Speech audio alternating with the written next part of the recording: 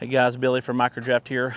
I still get a ton of questions about how these motors are getting cooled as high as we run them in the tunnel and actually above the tunnel.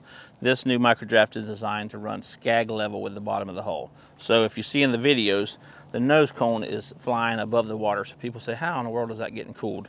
This witchcraft system that I developed is where I plumb into the water jacket port of this motor and we feed water from two high-speed pickups in our tunnel.